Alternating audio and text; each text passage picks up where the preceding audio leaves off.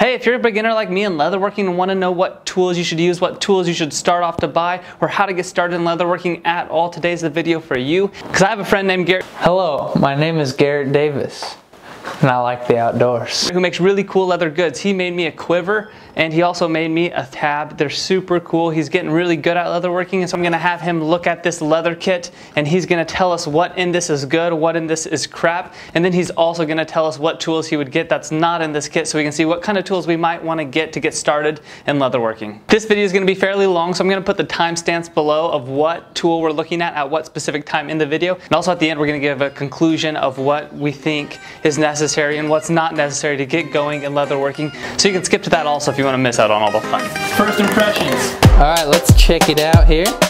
First of all, you don't need those or that.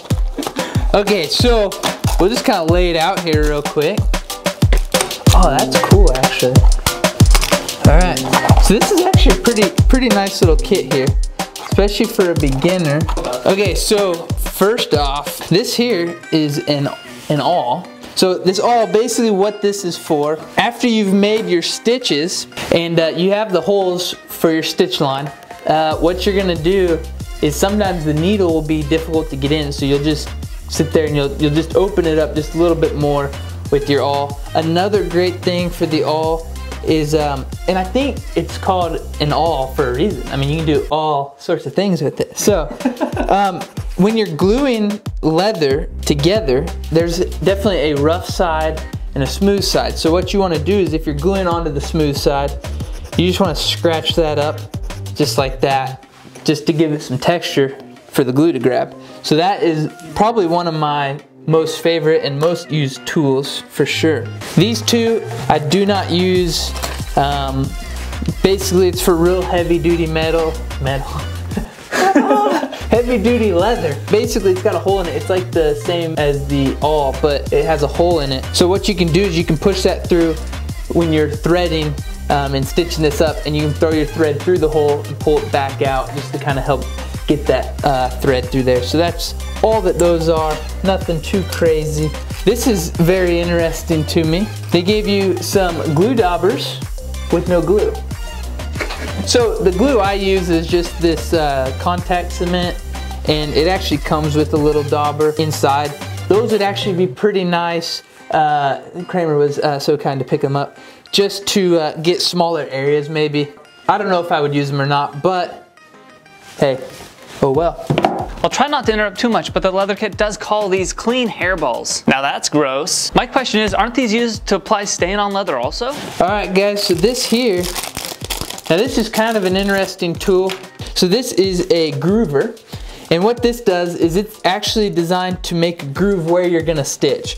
Say you wanted to run a stitch line around the edge. Say we were stitching another piece on there for whatever. You would take this, you'd basically get this to the measurement that you want, um, how far the, uh, mm, but the, the, the distance from the edge for your stitch line. So right about there say, and you're just gonna run this and it's gonna peel out. Now, I actually have this, yes it is neat, but wait, there's more. I have this same kit and it's a piece of trash. Cause you see how it grooved it right there, right? Uh -huh. Now, watch. It's not. So this thing is trash. It The hole gets clogged really easy. So um, it's, it's trash. I do use it every time I do leather work. I'll still mark that edge. Um, and then when I come in with my stitching awl, I can just basically follow the line and it works just as good. It, yep. So now that's where a different tool, your kit doesn't have it, but I actually have a hand groover and you can actually, once you mark it, you can just go in and actually cut your own groove. All right, so that's basically what this is. It actually works really, really well for what it is. I mean, with how cheap it is, not a big deal. So that's a, a good tool that I do use on every leather project. Now this one I don't use as much, but this would be great for someone that doesn't have stitching irons.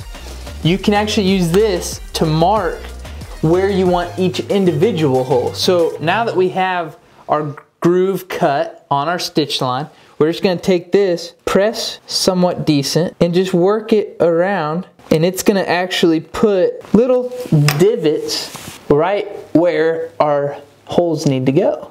Now this is where you can get really creative on how to make your holes. So um, me, on the first few projects I ever used, I used a roofing nail and a piece, piece of black iron pipe without, without the uh, um, mallet adapter.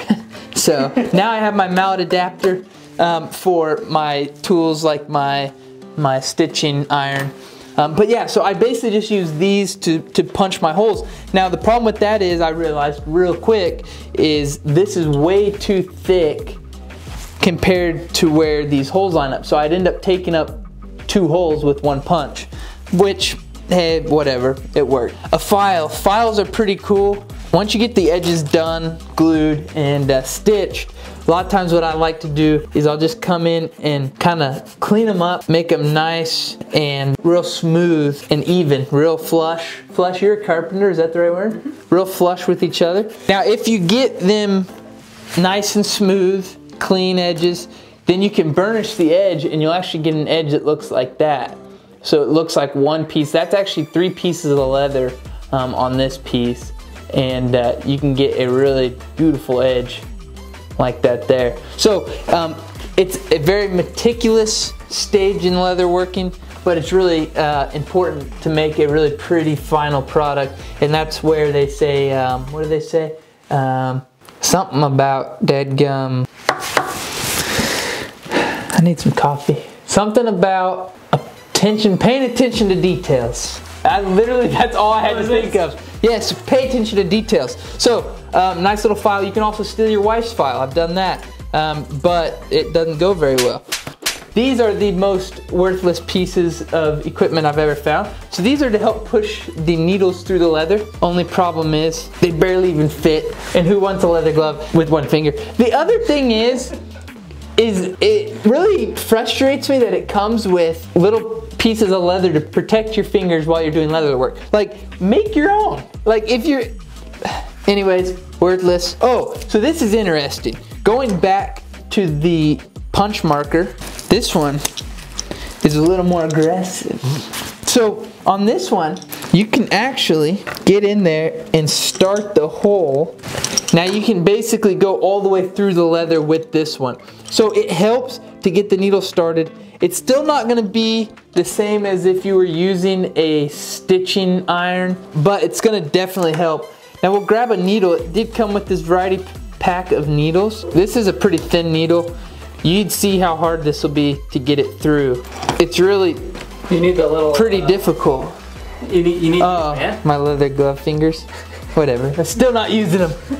so that's where the awl comes in handy. So you can just take your awl, poke through a little bit further, and now that needle is just gonna slide right through. So that's the beauty of the awl. You could start a project and finish it, start to finish with this set. Um, you can get the hole started with this, and then you're just gonna have to go through with your awl on each hole and uh, basically open it up just enough for the needle. These needles are for sewing around corners. No, I'm kidding. It's for sewing inside if you were to need to sew, say say this had a back on it. You do that with bow handles. Yeah. Because you come up under the leather grip and pull back out. Boom. See, have you done it? Have you used these? No, but I uh, kind of you need figured to. out a way to do it without it. But yeah, as we do. Yeah. so, anyways, like Kramer said, you'll see it in his videos, I'm sure. Um, you you basically just come in like that and then pull it through. So these are pliers, ladies and gentlemen, pliers. So say you got a hole that's being difficult and you get the needle through, but the, the back side of the needle is a little wider. You're not able to get that through, especially with the thread on there. So what you can do with the pliers, obviously, is pull them out. Now, I don't, I don't and wouldn't use those. I always have mine handy. So, Garrett, I actually disagree. I've been using these pliers for a little bit here while I've been doing some other work. I also been contrasting them with the Leatherman I have in their pliers. And unless your pliers are a lot better than my Leatherman's, these are actually more comfortable and a lot easier, a lot quicker, a lot smaller to grab and pull those needles through. So that's my opinion, but take it or leave it. Next, so these are just some um, cheap little shears. Pretty, pretty nice little shears. Um, listen to that. Yeah, that's pretty sweet. So um, these are simply for thread. So you got your thread, you finish up the job, you snip it. Not a big deal. Again, I don't use it. I use this. So, I mean, you just take your thread and snip it, snip it. Oh, come on. It's nervous. So you snip it, right? So, hey, to each their own. And final product, this, ladies and gentlemen, is beeswax, which is pretty freaking sweet. Um, this excites me actually. Now this is kind of cool. This is a um, basically just a wallet that I, it's a reject wallet. I made this for a guy and it just didn't turn out right. If anyone has the initials MB, comment below and uh, you may get a free wallet. so looks real nice flush. So now what we're gonna do, but you can see it just doesn't look real pretty. It's got some little rough edges. We're gonna take this beeswax and we're just gonna rub it on the edge. You're gonna take this, this is basically just a piece of wood that um, has a couple different size notches cut out on it. Now I actually for the longest time just used this and you can use this as well. This is just a piece of a one by one and you can do the same thing. You can sit there and do this all day or you can work smarter, hook this bad boy up to a drill. If you've seen my last video, Garrett's video, last my last video, then you know that what's coming. So you're gonna take this and send it full beam. I know it's really hard to hear me right now, but if you can't, so put subtitles under all this. And I'm just gonna keep talking to make him have to put all the subtitles, because I know how much of a pain in the butt it is to edit all that up for subtitles. So, that being said, it looks pretty good. You can see right there, and as I spin it around, the middle of that is just looking sweet. Kramer's kit did not come with that, but like I said, I took a one by one and just kind of shaved it down a bit um, and use that. Yeah, yours also came with this, which I think is hilarious. And it's the same thing as the leather thing, the leather little finger things. It's to help push the needle through. So I don't know, I mean, you may enjoy using that if that's your kind of look. Yours also didn't come with a beveler. So this is a beveler right here. And what this does is before you go to stitch, you take your edges um, before you stain it, if you're wanting to stain it, and you're just gonna take off this corner and it just helps all the corners seat up nice and pretty and just gives it a good finished look. If you're doing a lot of leather work, I would honestly buy one of these. This is for um, like sewing. Same thing with this mat. I would definitely get a mat and this is self-healing. The cool thing about that is I actually bought this, cut it in half and it self-healed itself back and I cut it in half again and I've had, I got like 10 of these now. No, I'm just kidding. No, when you cut it like that, it just kind of seals back up. This, basically, it'll cut leather really nice. Um, and uh, it's just really nice to get good cuts. The other one I like, this is cool for like, uh, same thing, just cutting. But I like it for just making real meticulous cuts, maybe making corners, or, uh, or if I do have two pieces of leather, I can kind of get those lined up when it's glued and I can trim those down real nice to where they're matching and I don't have to file as much. Here's my beeswax. I wanted to eat it once, but I didn't. All right, guys, so all that being said, I know I made fun of some of these tools. I still have a lot of these and use a lot of these. And of course, again, I started with literally a roofing nail and a piece of black iron pipe, and that's all I used. And then I bought a couple needles from uh, Hobby Lobby. That's all I used. So you can use just about anything. These tools really help make stuff more efficient, quicker, um, easier.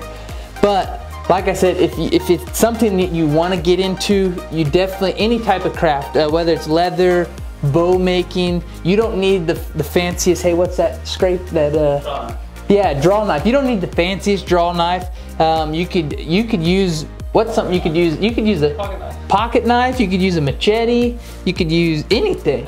Hatchet. So um, anytime you want to start a craft and you're like, well, I don't have the money for the tools or I don't have the right tools or, or whatever, don't let it be an excuse. This is my first leather product I ever made. Um, pretty rough, as you can tell. So it's the, the stitching's real uneven. Um, the edges are really uneven. I ran out of thread with three stitch holes left. So I just had to tie it off. So this is like really, you know, bad in my opinion, but I'm proud of it because this is the first thing I ever made um, out of leather and it's very functionable. Functionable? Functionable? It, it works. so this is just a sheath I made for a knife. So that's that's awesome. Um, this is the second thing. So this is still using a nail and a piece of black iron pipe to punch the holes. But you can see I took a lot more time. I noticed on this how, how much you can actually see where those stitches go. Um, so I took my time making sure I had straight lines while I was punching the holes um, and pulling the thread tight at the same strength. So the other thing you can do is, is tighten some threads more and you'll have different looks. So um, that's that. That was the second thing I made. Now this is something I've created and this is just a uh, sheath for a, um, a pocket knife I have. And let me get this out. So you can just see that just this is the wallet I made recently. You can go watch that video. He'll have the link down there, I'm sure. Um, but but you can see the difference in quality, and that's just this is the time um, of noticing what happened when you did what is another big thing. So I know a lot of leather guys actually uh, journal what they're doing while they're doing it. I don't. I'm not a big writer. Um, Kramer, do you journal when you build bows at all ever? Or have you heard of it? yeah. Yeah, so Kramer will take, so it's the same thing. So like, for instance, uh, I used twice as much thread as my distance. So I mentally took the note and since I have to look at this every day, I think about it. Now I actually use four times the length of thread. So if I'm using this thread, I'll actually run it out one, two, three, four, and sometimes I'll give it a little extra pinch just for good luck. And that's what I would use to, to thread this up. If you have questions about leather working, um, I know there's a lot of craftsmen that watch uh, Kramer's channel here. So if you're wanting to get into leather work and are just wanting to do it uh, for bow handles, uh, let me know in the comments on his channel. I'll be looking at them and uh, hopefully I can answer those for you. I'm not the smartest when it comes to this. This is literally, I've been doing this for a couple months. I've just really enjoyed doing it. So, um, but I can, I'll help you out as much as I can because there's been people in my life that have helped me with it. Hey Garrett, thank you so much for helping me out with this video. If you made it this far in the video, congratulations, you are one of the select few who get to hear our final take on the video. Really, if you made it that long, that's impressive. Here is 15 seconds telling you what tools we did and didn't like in this leather kit. Adjustable stitching groover, hook the awl, hollow awl, solid wood awl, black pressure cloth tooth, log pressure cloth tooth, scissors, leather needle, beeswax, finger cots, thimble, wax yarn or rope, flat nose plier, clean hairball. In the end, the question is, would I buy this leather kit? Would I buy it again? My answer? No. I don't think I would buy this again because it doesn't have enough of the right things. But I did more research and I did find a leather kit that does have things like a proper groover and it does have stitching irons for the same price practically. So if you want to make awesome leather goods like these ones that Garrett made for me, I'm going to leave a link in the description for you guys. You can click on that link and go straight to that leather kit and buy it. In the next video I'm going to finish up the bow that I'm making for Garrett so you're going to need to subscribe if you want to see that. It's going to be so cool. I'm inlaying a handle on it and man, this thing's looking awesome. So you're gonna wanna see that. Thank you again for joining me. Guys, have a great day.